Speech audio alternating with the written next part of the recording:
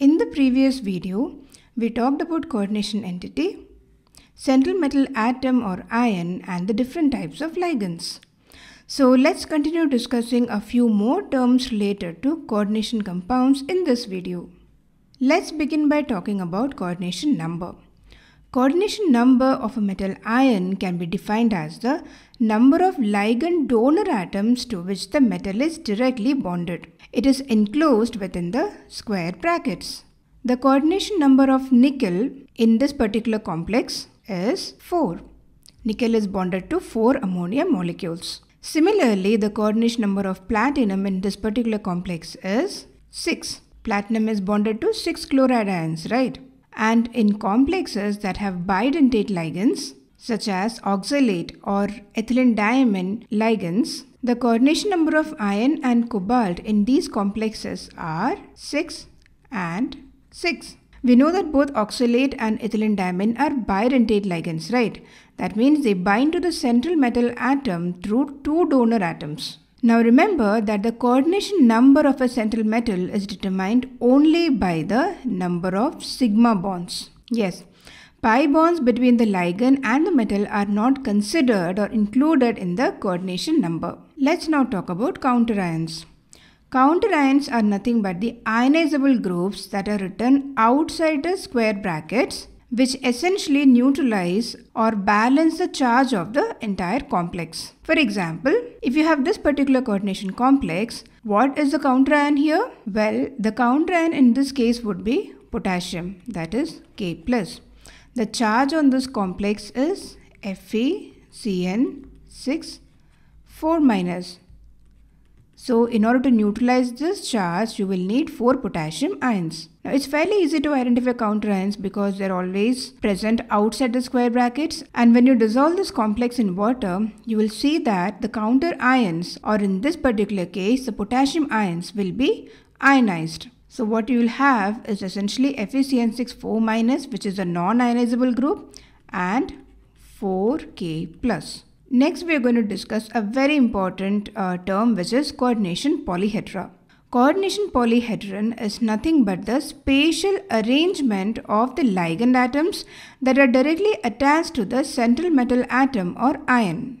Now, the most common coordination polyhedra are octahedral, square planar and tetrahedral in structure. For example, CONH363 plus here we have cobalt bonded with 6 ammonia molecules and here the coordination polyhedra would be octahedral.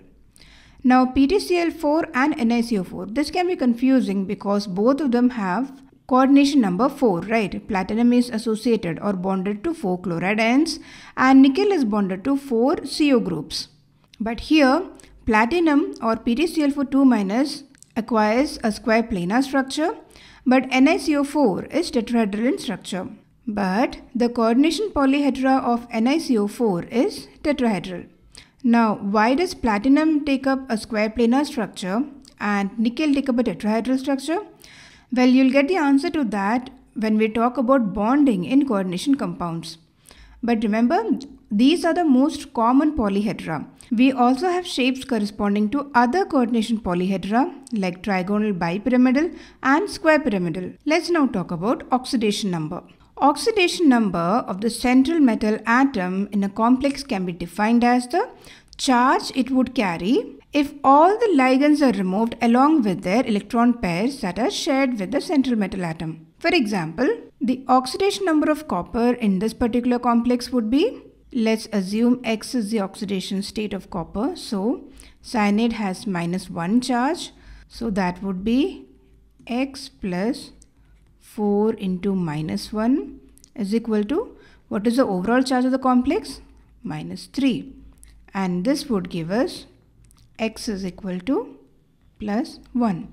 So we would write the oxidation state of copper as copper 1. Similarly, the oxidation number of chromium in this particular complex would be, again let's assume X or let's say in this case Y as the oxidation state of chromium, then Y plus 6 into 0 because water is a neutral molecule would be, what is the overall charge of the complex? Plus 3. So, Y is nothing but plus 3. And here we can write the oxidation state as chromium 3. Okay. Now, can you find out the oxidation state of cobalt in this particular complex? Pause the video for a moment and give it a try, okay? Alright, so let's again assume that the oxidation state of cobalt is X. We can see that this has no charge. This is a neutral coordination compound. So X plus chlorine has minus 1 charge. So that is 2 into minus 1 plus NH3 is neutral and you have one more chlorine here. So plus minus 1. And what is the overall charge of the compound? Which is 0. So on solving this you will get x minus 2 minus 1 is 0 which is nothing but x is equal to plus 3. So the oxidation state of cobalt can be written as CO3. Let's now look at the last important topic. But before that, tell me what is the difference between these two coordination compounds? We have the same central atom which is cobalt we have ligand ammonia in both of them. The only difference is that in the first complex, cobalt is bonded to 6 ammonia molecules. That is, you have only one type of ligand here.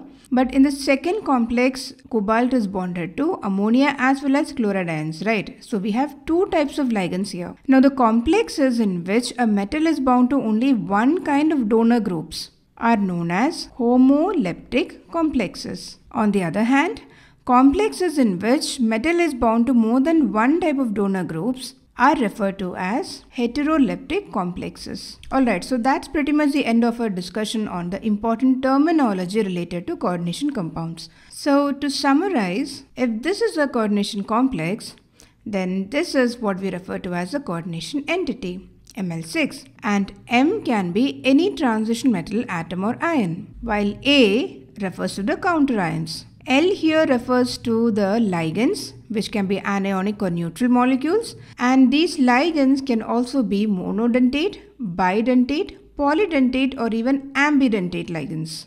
And if the central metal atom is attached to only one type of ligand, then what we have is a homoleptic complex and if the central atom is bound to more than one type of ligand, then we have a heteroleptic complex. Now, depending on the number of ligands bound to the central metal atom, we get the coordination number. And depending on this, we also can predict the coordination polyhedra. The most common ones being octahedral when we have six ligand groups and square planar or tetrahedral when there are four ligands attached to the central metal atom.